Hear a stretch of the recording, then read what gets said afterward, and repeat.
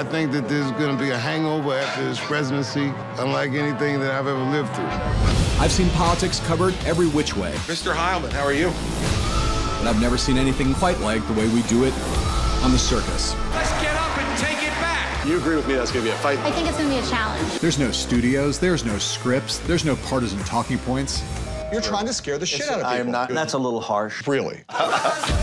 This is a much more intimate, real conversation with people who make the headlines. She's right behind me. I was just talking about you. At some point, you got to put country above party. How are you, man? I'm good. How are you? If you got another couple billion dollars around, let me know, okay?